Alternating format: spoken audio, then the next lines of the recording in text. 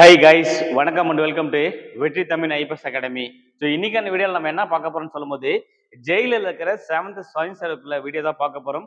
Already part ஒன்ல பார்த்தோன்னா top twenty five questions பார்த்துருப்போம். ஸோ இது பார்ட் டூ வீடியோவில் அடுத்த இருபத்தஞ்சு கொஸ்டின்ஸ் பார்க்கலாம் வாங்க. ஸோ வீடியோ பார்த்து பண்ணி பார்த்தோன்னாக்கா ஜெயிலர் டேஸ்ட் பேச்சு ரொம்ப சூப்பராக போயிட்டு இருக்குது ஸோ யாரோ ஜாயின் பண்ண நினைக்கோங்க டிஸ்கிரிப்ஷன் கொடுத்துற நம்பர் கால் பண்ணி உங்கள் டீட்டெயில்ஸை கேட்டுக்கலாம். ஸோ அது மட்டும் இல்லாமல் இப்போ ரீசெண்டாக பார்த்தோன்னாக்கா டார்கெட் செவன்ட்டி அப்படின்னு சொல்லிட்டு டெஸ்ட் பேச்சு கொடுத்துட்டு இருக்கோம் ஸோ இது என்ன கொஸ்டின்ஸ் பார்த்தோன்னா இருபது தேர்வுகள் நடைபெறும். இந்த இருபது தேர்வுகளுமே முழு மாதிரி தேர்வுகள் தான். இந்த இருபது தேர்வுகளை சரியாக அட்டன் பண்ணாக்கா வரக்கூடிய மெயின் எக்ஸாம்ஸை நீங்கள் ரொம்ப ஈஸியாகவே எந்த ஒரு பயமும் இல்லாமல் ஈஸியாக போயிட்டு அட்டன் பண்ணுறதுக்கு இது ரொம்ப ரொம்ப யூஸ்ஃபுல்லாக இருக்கும். ஸோ இந்த ப்ரைஸ் அமௌண்ட் ஜஸ்ட் இரநூத்தி தொண்ணூற்றி ஒன்பது ரூபாய் மட்டுமே இரநூத்தி தொண்ணூத்தொம்பது ரூபா பே பண்ணிட்டா நீங்கள் வந்து என்ன பண்ணலாம்? ஸோ உங்களை குரூப்பில் ஆட் பண்ணி விட்டுருவாங்க. உங்களுக்கான கேள்விகள் மற்றும் விடைகள் எல்லாமே பார்த்தீங்கன்னா அந்த டெலிகிராம் குரூப்பில் கொடுத்துருவாங்க. சரிங்களா? ஸோ வாங்க இன்னைக்கு அந்த வீடியோக்குள்ளே போகலாம் ஸோ கொஸ்டின் நம்பர் இருபத்தி ஆறு. புரதம் மற்றும் கால்சியம் அதிகமாக காணப்படுவது. புரதம் மற்றும் கால்சியம் அதிகமாக இதில் காணப்படுதுன்னு சொல்லும்போது ஸோ பாலில் வந்து அதிகமாக காணப்படும். பாலில் வந்து அதிகமாக காணப்படுகிறது. சரிங்களா? ஸோ அடுத்த கொஸ்டின் பார்க்கலாம். உலக அளவில் பட்டு உற்பத்தியில் முதலீடு வைக்கும் நாடு எது? உலக பட்டு அப்படின்னு கொடுக்கும்போது சீனா முதலிடத்தை வைக்கிறது உலக அளவில் பார்த்தீங்கன்னா பட்டு உற்பத்தியில் சீனா முதலிடம் வைக்கிறது நிலக்கரி சீனா முதலிடம் வைக்கிறது மின்சார உற்பத்தி சீனா முதலிடம் வைக்கிறது காற்றாற்றல் சீரா மின்சாரம் வைக்கிறது நீர்மின் சக்தியை மின்சாரம் வைக்கிறது இரும்பு முன்னிலை வைக்கிறது மைக்கா முன்னிலை வைக்கிறது ஸோ தேயிலை முன்னிலை வைக்கிறது இந்த மாதிரி அதிகப்படியான பொருட்களை முன்னிலை வைக்கும் நாடு அப்படின்னு கொடுக்கும்போது உலக அளவில் சீனா நம்பர் ஒன் பொசிஷன்ல அதிகமாகவே வச்சிருப்பாங்க. சரிங்களா? இந்தியா அப்படின்னு சொல்லும்போது ரெண்டாவது இடம். இந்தியா பார்த்தினாக்கா செகண்ட் பிளேஸ்ல இந்தியா இருக்குது. உலக அளவில் பட்டு உற்பத்தியில் இந்தியாவின் பொசிஷன் கேட்டா இந்தியா இரண்டாவது இடத்துல காணப்படுகிறது. சரியா? இந்தியாவில் ஃபர்ஸ்ட் இடம் அப்படின்னு சொல்லும்போது கர்நாடகா மாநிலம். இந்தியாவில் முதல் மாநிலமாக விளங்கக்கூடியன்னு சொல்லும்போது கர்நாடகா மாநிலம். சரிங்களா? நெக்ஸ்ட் செல்லின் இயக்க பகுதி எனப்படுவது எது? செல்லின் இயக்க பகுதி எனப்படுவது எது? அப்படின்னு கேட்டிருக்காங்க. சரியா? சோ இந்த கொஸ்டினுக்கான சரியான விடையை பார்த்தோன்னாக்கா செல்லின் இயக்கம் அப்படின்னாக்கா ஒன்றும் கிடையாது. இந்த குழ குழன திரவம் போன்ற ஒரு பகுதி இருக்குல்ல மூமெண்ட் பகுதி அதுதான் கொடுத்துருப்பாங்க. செல்லின் இயக்க பகுதியாக. ஸோ இந்த கொஸ்டினுக்கான சரியான விடை ஸோ ஆப்ஷன் சி சைட்டோபிளாசம் என்பது சரியான விடை. செல் சுவர் அப்படின்னு கொடுக்கும்போது செல்லை சுற்றி இருக்கக்கூடிய ஒரு உரையா செயல்படுவதுதான் செல் சுவர்னு கொடுத்துருப்பாங்க. உட்கரு அப்படின்னு கொடுக்கும்போது செல்லின் கட்டுப்பாட்டு மையம் அப்படின்னு கொடுக்கும்போது உட்கரு வந்து கொடுத்துருப்பாங்க. சரிங்களா? ஸோ அடுத்து பாருங்க கொஸ்டின் இருபத்தொன்பது. சிலிக்கான் மற்றும் ஜெர்மானியம் ஆகியவை சிம் கார்டு மற்றும் ஏடிஎம் தயாரிக்க பயன்படுது. ஏடிஎம் கார்டு தயாரிக்க பயன்படுகிறது. ஸோ இந்த கூற்று சரி அவைகள் குறை கடத்திகள். இதுவும் சரி. இது ஒரு உலோகப்போலி உலோகப்போலிகள் ஜென்ரலா என்னன்னு பார்த்தீங்கன்னா குறை கடத்திகளாக தான் செயல்படும். ஸோ கூற்று மற்றும் காரணம் இரண்டும் சரி. ஸோ கூற்று மற்றும் காரணம் ரெண்டும் சரி so option C is right answer சரியா? அடுத்த கொஸ்டின் போகலாம் கொஸ்டின் நம்பர் முப்பது. ஒரு தலைமுறையிலிருந்து அடுத்த தலைமுறைக்கு மரபு வழி பண்புகளை கடத்தும் செல்லின் உறுப்பு எது? எப்படி கடத்திட்டு போகுதுன்னு சொல்லும் போது குரோமோசோம்கள் முக்கிய காரணமாகிறது. நம்ம எல்லாருமே பார்த்துருப்போம் மனித உடலில் மொத்தமாக நாற்பத்தி ஆறு குரோமோசோம்களும் இருபத்தி மூணு ஜோடி குரோமோசோம்னு கொடுத்துருப்பாங்க. இப்போ அல்லோசோம்கள் அப்படின்னு கொடுக்கும்போது ஒரு ஜோடியும் ஆட்டோசோம்கள் கொடுக்கும்போது இருபத்தி ரெண்டு ஜோடியும் கொடுத்துருப்பாங்க. மொத்தமா நாற்பத்தாறு கொடுக்கும். சரியா? மனித உடல் வந்து நாற்பத்தாறு குரோமோசோம் வந்து காணப்படுறது. அப்போ வந்து பார்த்தோன்னா மனித பண்புகளை கடத்துவது குரோமோசோம் அப்படின்றது சரியான விடை. சரிங்களா? ஒருவேளை அவங்க அப்பா மாதிரி இருக்கலாம் தாத்தா மாதிரி இருக்கலாம் பாட்டி மாதிரி இருக்கலாம் ஸோ அம்மா மாதிரி இருக்கலாம்.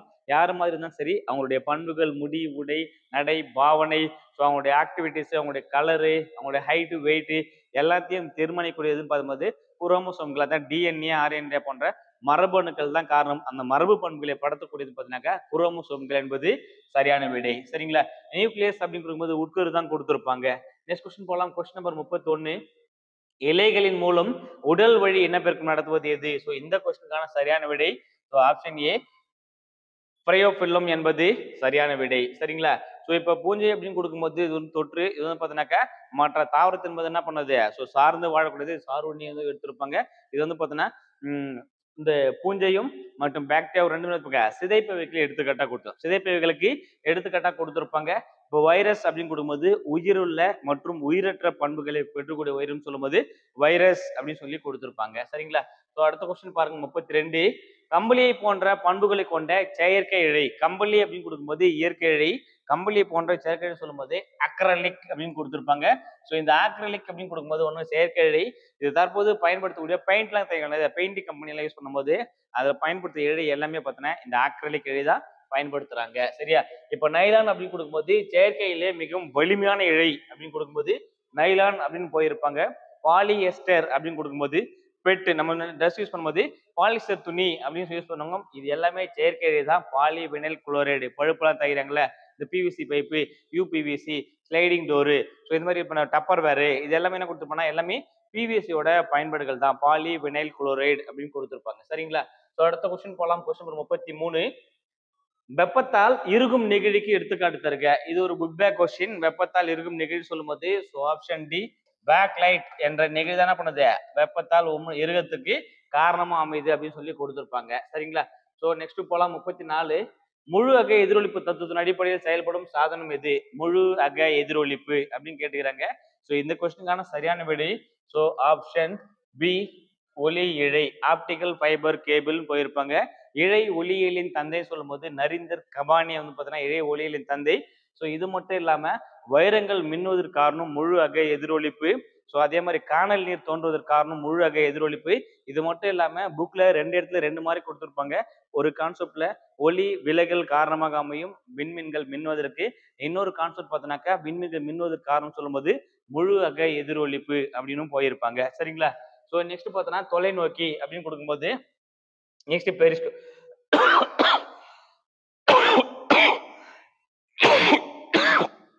சாரி இப்போ பெரிஸ்கோப் அப்படின்னு கொடுக்கும்போது ஒளி எதிரொலித்தல்.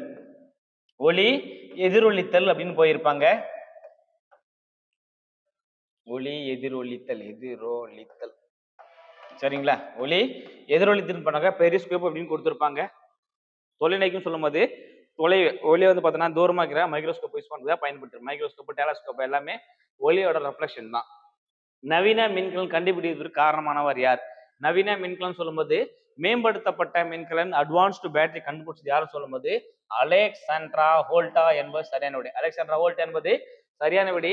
வில்லியம் ராபர்ட் குரு அப்படின்னு சொல்லும்போது குரு கதிர்களை கண்டறிந்தவர். குரு கதிர்களை கண்டறிந்தவர் சொல்லும்போது வில்லியம் ராபர்ட் குரு அவர்கள் லூயி கால்வானி சொல்லும்போது மின்கலத்தை முதன் முதலில் கண்டறிந்தவர் லூயி கால்வானி. ஏ சுகியோ அப்படின்னு கொடுக்கும்போது இவர் வந்து பார்த்தோன்னாக்கா உலர் மின்கலனை கண்டறிந்தவர். சரிங்களா? நெக்ஸ்ட் கொஸ்டின் பாருங்க முப்பத்தாறு. பேரண்டத்தில் முதன்மையாக காணப்படுவது டேஷ் அணுவாகும். அண்டும் பேரண்டும் எந்த கொஸ்டின் கேட்டாலும் சரி ஸோ ஃபர்ஸ்ட் ஆப்ஷன் என்ன வரும் பார்த்தீங்கன்னா உனக்கு ஹைட்ரஜன் என்பது சரியான விடை. ஹைட்ரஜன் என்பது சரியான விடை. வளிமண்டலத்தில் அதிகமாக காணப்படுவான்னு சொல்லும்போது வளிமண்டலம் நைட்ரஜன் வளிமண்டலம் கேட்டா நைட்ரஜன் அப்படின்னு சொல்லி போயிருக்கலாம். சரிங்களா? ஸோ கார்பன் அப்படின்னு சொல்லும்போது மனித உடலில் மிகவும் அதிக நிறை பதினெட்டு சதவீதம் நிறைய காணப்படுவது கார்பன் உயிர் வாழ்வதற்கு இதுவும் ஒரு முக்கிய கூறுகளாக அமைகிறது. சரிங்களா? நெக்ஸ்ட் கொஸ்டின் போகலாம் கொஸ்டின் நம்பர் முப்பத்தி ஏழு ஒட்டுண்ணி தாவரத்துக்கு எடுத்துக்காட்டு தருக. ஒட்டுண்ணி தாவரம் சொல்லும்போது அதுல இருக்குது. ஒட்டி உண்ணக்கூடியது. ஒட்டுண்ணி அப்படின்னு கொடுத்துருப்பாங்க. So option D cuscuta is right answer ஒட்டுண்ணி என்பது கஸ்கோட்டா அவிசினியா அப்படின்னு கொடுப்போம் அவினிசியா அப்படின்னு கொடுக்கணும் இருப்பாங்க. ஸோ இது வந்து பார்த்தீங்கன்னாக்கா காற்று இடை கொண்ட வேர்கள். ஸோ மிதக்கும் வேர்கள் இருக்குல்ல. ஸோ அதுக்கெல்லாம் காரணம் சொல்லும்போது காற்று வேறு இந்த மிகப்பெரிய தாவர விடையில வந்து ஒருத்தரும் ஸோ அபிசினியா அவினிசியான்னு கொடுத்துருப்பாங்க. நெப்பந்தஸ் அப்படின்னு சொல்லும்போது குடுவை தாவரம். நெப்பந்தஸ் வந்து குடுவை தாவரம்னு போயிருப்பாங்க. வாண்டா அப்படின்னு சொல்லும்போது பற்று தாவரத்துக்கு எடுத்துக்காட்டு வாண்டா வந்து கொடுத்துருப்பாங்க. நெக்ஸ்ட் கொஸ்டின் முப்பத்தி எட்டு வெப்பநிலையின் எஸ்ஐ அழகே கொஸ்டின் நம்ம நல்லா பார்க்கணும். வெப்பமா? வெப்பநிலையான்னு பார்க்குறோம். வெப்பநிலை அப்படின்னு கேட்டதால ஸோ ஆப்ஷன் டி கெல்வின் என்பது சரியான விடை. வெப்பநிலைனா கெல்வின் போயிருப்பாங்க. நிறையின் எஸ்ஐ அலகு கிலோகிராம் நிறைன்னு கேட்டா கிலோகிராம் மீட்டர்னு சொல்லும்போது நீளத்தின் எஸ்ஐ அலகு மீட்டர் ஆம்பியர் அப்படின்னு கொடுக்கும்போது மின்னோட்டத்தின் எஸ்ஐ அலகு மின்னோட்டம் சரியா? மின்னோட்டத்தின் எஸ்ஐ அலகு அப்படின்னு போனா ஆம்பியர் என்றால் அளக்கப்படுகிறது. நெக்ஸ்ட் கொஸ்டின் போகலாம் கொஸ்டின் முப்பத்தொன்பது ஒளி செறிவினை அளவிடும் கருவி. ஒளி செறிவினை அளவிடும் கருவி சொல்லும்போது ஒளிமானி போட்டோமீட்டர் ஒளிமானி போட்டோமீட்டர் என்பது சரியான விடை. இப்ப ஒளி படம் கிடையாது கால்வனா மீட்டர் கிடையாது வோல்ட் மீட்டர் கிடையாது சரியா? மின்னழுத்த வேறுபாட்டை அளவிடும் கருவி தான் வோல்ட் மீட்டரு சரிங்களா? நெக்ஸ்ட் கொஸ்டின் பாருங்க. கொஸ்டின் நம்பர் நாற்பது. நீளம் நீளத்தின் எஸ்ஐ அலகு நீளம் அப்படின்னு சொன்னா மீட்டர் நீளம்னா மீட்டர்னு போயிருப்பாங்க. ஸோ ஆப்ஷன் ரெண்டு ஃபர்ஸ்ட்டுக்கு நெக்ஸ்ட் நிறை. நிறைனா kilogram நிறைனா kilogram so two four two ஃபோர்னு வரதால so option C is right answer next மின்னோட்டம் சொல்லும்போது ஆம்பியர் ஒன்று காலத்தின் எஸ்ஐ வினாடி அப்போ two four one three is right answer next question போகலாம் கொஸ்டின் நம்பர் நாற்பத்தொன்று தானியங்கி வாகனங்கள் கடக்கும் தொலைவினை அளவிட பயன்படும் சொல்லும்போது ஓடோமீட்டர் என்பது சரியான விடை. ஆட்டோமேட்டிக் மோட்டார்ஸ் வந்து பார்த்தீங்கன்னா எவ்வளோ ஸ்பீடு போயிருக்கும் எவ்வளோ கிலோமீட்டர் கடந்திருக்கும் கண்டுபிடிக்க என்ன பயன்படுத்துறாங்கன்னா ஓடோமீட்டர் தான் பயன்படுத்துறாங்க. சரிங்களா? இப்போ கிலோமீட்டர்னா ஆயிரம் மீட்டர் சேர்ந்து ஒரு கிலோமீட்டர் பேஸ் பண்ணி போயிருப்பாங்க. அம்மீட்டர் அப்படின்னு கொடுக்கும்போது மின்ன மின்னோட்டத்தை அளவிடும் கருவி. மின்னோட்டத்தை அளவிடும் கருவி அம்மீட்டர் இப்போ ஓம் மீட்டர் அப்படின்னு கொடுக்கும்போது என்ன கணக்கு போயிருப்போம்னா ஓம் வேற ஓம் மீட்டர் வேற. தன் மின் தடையின் அழகு மின் தடை எண்ணின் அழகு அல்லது தன் மின் தடை எண்ணின் அழகுன்னு சொல்லும்போது ஓம் மீட்டர் அப்படின்னு சொல்லி கொடுத்துருப்பாங்க. சரிங்களா? அடுத்த கொஸ்டின் பாருங்க நாற்பத்தி ரெண்டு. ஒரு பொருளை வெப்பப்படுத்தும் போது உயர் வெப்பநிலையில் உள்ள பகுதியிலிருந்து குறைந்த வெப்பநிலை பகுதிக்கு மூலக்கூறுகள் இயக்கத்தினால் வெப்பம் கடத்தப்படும் முறைக்கு வெப்பச்சலனம் என்று பெயர். வெப்பச்சலனம் என்று பெயர். இது சரி. ஃபார் எக்ஸாம்பிள் ஒரு பாத்திரத்துல இருக்கிற பாத்திரத்தில் தண்ணி வச்சு சூடு பண்ணணும். சூடுபடுத்தும் போது என்ன பண்ணுது? அந்த தண்ணி கொதிச்சு மேலே கீழே மாறுது. அப்ப நம்ம கண்ணுல பார்க்க முடியுது. மூலக்கூறு இடமாற்றம் அடைகிறது. ஸோ இந்த கூற்று சரியான விடை. ஸோ கூற்று ரெண்டு பாருங்க. வெப்பச்சலனம் திடப்பொருட்களில் மட்டுமே ஏற்படுகிறது. இப்போதான் சொன்னேன் வெப்பச்சலனம் அப்படின்னு கொடுக்கும்போது எங்க சொன்னேன்? திரவத்தை சொன்னேன். வெப்பச்சலனம் எதில் ஏற்படும் பார்த்தோன்னா திரவங்களிலும் வாயுக்களிலும் மட்டுமே ஏற்படும். திரவம் கம வாயுக்களில் ஏற்படும். ஆனால் இவங்க திடப்பொருள் கூட்டுறதால இந்த கூற்று தவறானது. ஸோ அப்ப கூற்று ரெண்டு மட்டும் சரி சரி ரெண்டு மட்டும் தவறு கூற்று ஒன்று மட்டும் தான் சரி. ஸோ ஆப்ஷன் பி கூற்று ஒன்று மட்டும் சரி என்பது சரியான விடை. ஸோ அடுத்த கொஸ்டின் போகலாம் கொஸ்டின் நம்பர் நாற்பத்தி மூணு. வெப்பம் அப்படின்னு கொடுத்துறாங்க வெப்பத்தின் எஸ்ஐ அலகு ஜூல். வெப்பத்தின் எஸ்ஐ அலகு ஜூல் அப்படின்னு போகலாம் ஸோ ஃபர்ஸ்ட் ஜூல் வார்த்தால இது ரெண்டும் ரிஜெக்ட் ஆகிடும் ஒன்று இதுவாக இருக்கும் அல்லது அதுவாக இருக்கலாம். சரியா? ஸோ அடுத்து பார்க்கலாம். வெப்ப சமநிலை அப்படின்னு சொல்லும்போது வெப்ப பரிமாற்றம் இல்லை. வெப்ப சமநிலைன்னா வெப்ப பரிமாற்றம் இல்லை. ஒரு டிகிரி இருபது டிகிரி இதுவும் இருபது டிகிரி டெம்பரேச்சர் ரெண்டு ஒன்றா வச்சு என்ன பண்ணும்போது ஈக்குவலா இருக்கும்போது வெப்ப சமநிலை ஏற்படுத்தும் பொழுதுனா அது வெப்பம் இங்கே வந்து எந்த மாடிஃபையும் ஆகாது. ஒருவேளை இருபது டிகிரி டெம்பரேச்சர் இது பத்து டிகிரி டெம்பரேச்சர்னா ஆகும் இந்த இருபது டிகிரி பத்து டிகிரி லெவல் பண்ண பார்க்கும். ஸோ அப்போ ரெண்டு சேர்ந்து பதினஞ்சு டிகிரி டெம்பரேச்சராக கன்வெர்ட் ஆகும். சரியா? அப்போ வெப்ப சமநிலை கொடுக்கும்போது வெப்ப பரிமாற்றம் ஏற்படாது. நெக்ஸ்ட் பனிக்கட்டி அப்படின்னு சொல்லும்போது ஜீரோ டிகிரி செல்சியஸ் ஆச்சுன்னா பனிக்கட்டியாக மாறப்போகுது. கொதிநீர்னு சொல்லும்போது நூறு டிகிரி செல்சியஸ் நீரின் கொதிநிலை நூறு டிகிரி செல்சியஸ் சரியா? ஸோ நாலுக்கு ஒன்று நாலுக்கு நேரம் ஒன்றுன்னு வரணும். So option C four three two one is right answer அடுத்த கொஸ்டின் போகலாம் கொஸ்டின் நம்பர் நாற்பத்தி நாலு வெப்ப குடுவையை கண்டறிந்தவர் யார்? வெப்ப குடுவையை கண்டறிந்தவர் யார்? இந்த கொஸ்டின் ஆல்ரெடி கேட்டிருக்காங்க. ஸோ போன வருஷம் எஸ்ஐல கேட்டிருந்தாங்க. ஜேம்ஸ் திவார் அல்லது திவார் குடுவை அப்படின்னு சொல்லுவாங்க. வெப்ப குடுவைன்னு சொல்லுவாங்க. வெற்றிட குடுவை அப்படின்னு அழைப்பாங்க. சரிங்களா? ஸோ நெக்ஸ்ட் வந்து பார்த்தோன்னாக்க வில்லியம் கில்பர்ட். நிலைமின் காட்டிய வடிவமைத்தவன் சொல்லும்போது வில்லியம் கில்பர்ட் அப்படின்னு போயிருப்பாங்க.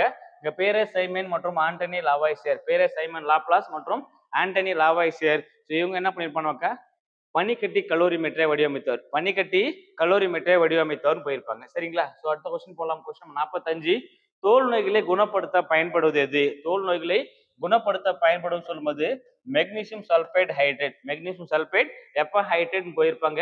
மெக்னீசியம் சல்பேட் என்பது சரியான விடை. சரிங்களா? எப்சம் கொடுத்துருப்பாங்க. சரியா? எப்சம் என்பது சரியான விடை. எப்சம் தான் என்ன பயன்படுத்துறாங்க? தோல் நோய்களை குணப்படுத்தும் களிமண்களில் பயன்படுத்துறாங்க மற்றும் விவசாயத்திலையும் பயன்படுத்தப்படுகிறது. Calcium sulphate dihydrate. Calcium sulphate dihydrate அப்படின்னு கொடுக்கும்போது இது என்னன்னாக்கா ஜிப்சம் அப்படின்னு சொல்லுவாங்க. இது வந்து ஜிப்சம் என்று அழைக்கப்படுறது. இது பாரிசான் தயாரிக்கும் சிமெண்ட் கெட்டிப்படும் தன்மைக்காகவும் பயன்படுத்தப்படுகிறது. கால்சியம் சல்பேட் ஹெமிஹைட்ரேட் இது வந்து பார்த்தோன்னாக்கா எதுனாக்கா பாரிஸ் சார்ந்து கொடுப்பாங்க. பாரிஸ் வந்து பார்த்தோன்னா இன்டீரியர் டெக்கரேஷன் செய்யறது வந்து பார்த்தோன்னா அதுக்கு பிஓபி மாவு யூஸ் பண்ணுறாங்க ஸோ அதே மாதிரி இந்த கால்சியம் சல்பேட் எதுன்னு சொல்லும்போது அச்சு பதிக்கவும் ஸோ கை முறிஞ்சு பண்ண பண்ணுவாங்க? ஒரே ஸ்டேபிளா வச்சு ஒட்ட வைக்கிறதுக்கு என்ன பண்ணாங்க மோல்டிங் போடுறதுக்கும் ஸோ கை கட்டு போகிறதுக்கும் இந்த பாரிசான் தான் பயன்படுத்துறாங்க. C six H five OH அப்படின்னு கொடுக்கும்போது இது ஒரு பீனால் கார்பானிக் அமிலும். ஸோ பீனால் சொல்லும்போது கழிவறைகளை சுத்தம் செய்யவும் கிருமி நாசினியாகவும் பயன்படுத்தப்படுகிறது. நெக்ஸ்ட் கொஸ்டின் நாற்பத்தாறு இந்தியாவின் முதல் எண்ணெய் கிணறு எது? கொஸ்டின் நல்லா பார்க்கணும். ஸோ இந்த வருஷம் எஸ்ஐல வந்து பார்த்தீங்கன்னா இந்தியாவின் மிகப்பெரிய எண்ணெய் வயல்னு கேட்டிருந்தாங்க. ஸோ மிகப்பெரிய எண்ணெய் வயல்னா Mumbai high is right answer மிகப்பெரிய அப்படின்னு கேட்டால் மும்பை ஹை முதல் எண்ணெய் கிணறு அப்படின்னு சொல்லும்போது ஸோ அசாம் திக்பாய் அல்லது மக்கூம் அப்படின்னு கொடுத்துருப்பாங்க. அது மட்டும் இல்லாமல் கங்கை சமவெளியுமே இந்தியாவில் வந்து பார்த்தோன்னாக்கா அது மீன்ஸ் இது வந்து பெட்ரோலிய ப்ராடக்ட் வந்து கிடைக்குது அப்படின்னு சொல்கிறாங்க நெக்ஸ்ட் கொஸ்டின் போகலாம் கொஸ்டின் நம்பர் நாற்பத்தேழு எலக்ட்ரானை கண்டறிந்தவர் யார்? எலக்ட்ரானை கண்டறிந்தவர் யார்? இந்த டாபிக்ல எப்பொழுதுமே ஒரு கொஸ்டின் கேட்டுருவாங்க. பிசிக்ஸா இருந்தா கெமிஸ்டா இருந்தா ஏதோ ஒரு ஆங்கிள் ஒரு கொஸ்டின் கட்டாயமா கேட்டுருவாங்க. எலக்ட்ரான்கள் அப்படின்னு கொடுக்கும்போது ஜே ஜே தாம்சன் எலக்ட்ரானை கண்டறிந்தவர் ஜே ஜே தாம்சன் இவர் தான் இருப்பாரு ஐசோடோப்புகளையும் கண்டறிந்திருப்பாரு. இப்போ கோல்ட்ஸ்டெயின் அப்படின்னு கொடுக்கும்போது இவர் என்ன பண்ணியிருப்பான்னு பார்த்தோன்னாக்கா புரோட்டானை கண்டறிந்தவர். புரோட்டானை கண்டறிந்தவர் அப்படின்னு சொல்லும்போது கோல்ட்ஸ்டெயின் புரோட்டான் என பெயரிட்டவர்னு சொல்லும்போது டேனியல் ரூதர்போர்ட் பிரிட்டனை பயிரிட்டிருப்பாரு ஜேம்ஸ் ஷார்ட்பிக் இவர் என்ன கண்டுபிடிச்சிருப்பாருன்னா நியூட்ரானை கண்டறிந்திருப்பார். மின்சுமையற்ற அல்லது நடுநிலைத்தன்மை கொண்ட நியூட்ரானை கண்டறிந்தவர் ஜேம்ஸ் ஷார்ட்பிக் டேனியல் ரூதர்போர்ட் அணுக்கரு இயற்பியலின் தந்தை. அணுக்கரு இயற்பியலின் தந்தை என அழைக்கப்படுகிறார். சரிங்களா? இவர்தான் அணுக்கரு இயற்பியலின் தந்தை. நெக்ஸ்ட் பாருங்க. கொஸ்டின் நம்பர் நாற்பத்தி எட்டு. மைட்டோகாண்ட்ரியாவை கண்டறிந்தவர் யார்? மைட்டோகாண்ட்ரியாவை கண்டறிந்தவர் யார் அப்படின்னு சொல்லும்போது ஸோ ஆப்ஷன் சி கோலிக்கர் என்பது சரியான விடை. இவர் என்ன பண்றாரு? மைட்டோகாண்ட்ரியாவை கண்டுபிடிக்கிறாரு. மைட்டோகாண்ட்ரியா சொல்லும்போது செல்லின் பவர் ஹவுஸ் என அழைக்கப்படுகிறது. செல்லின் ஆற்றல் நினையம் என அழைக்கப்படுவது. மைட்டோகாண்ட்ரியா அந்த மைட்டோகாண்ட்ரியா கண்டறிந்தவர் கோலிக்கர் நெக்மயக்குரு அப்படின்னு சொல்லும்போது தாவர உள்ளமைப்பிலின் தந்தை என அழைக்கப்படுவது யாரு? நெக்மயக்குரு சரிங்களா? ஸோ அடுத்த கொஸ்டின் பாருங்க. கொஸ்டின் நம்பர் நாற்பத்தி ஒன்பது. பழங்கள் மற்றும் விதைகளில் பொதுவாக காணப்படுபவை. பழங்கள் மற்றும் விதைகளில் பொதுவாக காணப்படும் சொல்லும்போது ஸ்கிளீரைடுகள் அப்படின்னு போயிருப்பாங்க. ஏன்னா நார்ச்சத்து இதுதான் இருப்பாங்க ஸ்கிளீரைடுகள் அப்படின்னு கொடுப்பாங்க. இது கல் செல்கள் என்றும் அழைக்கப்படுறது. ஸ்கிளீரைடுகள் வந்து கல் செல்கள் அப்படின்னும் அழைப்பாங்க. நெக்ஸ்ட் பாருங்க. கொஸ்டின் நம்பர் ஐம்பது. விலங்கு செல்களில் மட்டும் காணப்படாதது எது? விலங்கு செல்களில் மட்டும் காணப்படாதது எது? அப்படின்னு கொடுக்கும்போது செல் சுவர் விலங்கு செல்ல காணப்படாது. செல் சுவர்ல விலங்கு செல் இருக்காது. செல் செவ்வே என்ன பண்ண போகுதுனாக்கா செல் சுவராக கன்வெர்ட் பண்ணி அந்த வேலையை செஞ்சுக்கும். சரிங்களா? சென்ட்ரியோல் ரிபோப்ளோசம் செல் சவ்வு இது எல்லாமே தாவர செல் விலங்கு செல் ரெண்டிலுமே காணப்படும். விலங்கு செல்ல செல் சுவர் இருக்காது. சரிங்களா? விலங்கு செல்களில் மட்டும் காணப்படாதுன்னு சொல்லும்போது செல் சுவர் பேஸ்ட் அந்த ஆப்ஷன் ஒருவேளை பசுங்கனிமம் கொடுத்துருந்தாங்கன்னா பசுங்கனிமம் இருக்காது? விலங்கு செல்களில் காணப்படாது. சரியா? ஸோ இன்னைக்கு பார்த்தா இந்த இருபத்தஞ்சு கொஸ்டின்ஸுமே ரொம்ப ரொம்ப யூஸ்ஃபுல்லான கொஸ்டின்ஸ் தான். ஸோ இது மாதிரி யூஸ்ஃபுல்லாக வீடியோ போடுறோம் நம்ம சேனல் சப்ஸ்கிரைப் பண்ணாமல் இருந்தால் சப்ஸ்கிரைப் பண்ணி வச்சுங்க ஸோ உங்களுக்கு ஏதாவது டவுட்ஸ் இருந்தால் டிஸ்கிரிப்ஷன் தெரியல நம்பருக்கு கால் பண்ணி உங்கள் டீட்டெயில்ஸை கேட்டுக்கலாம். அல்லது ஸோ வேறு ஏதாவது டவுட்ஸ் என்ன பண்ணுங்க. மறக்காம கமெண்ட் பாக்ஸில் போஸ்ட் பண்ணி விடுங்க. தொடர்ந்து இணைந்திருப்போம் காவலர்களே. வெற்றி தமிழ் ஐபிஎஸ் அகாடமியுடன் நன்றி வணக்கம். Thank you so much